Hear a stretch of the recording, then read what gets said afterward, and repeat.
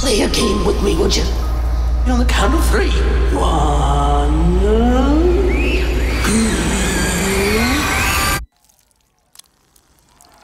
To rozdział drugi w kinach od 6 września.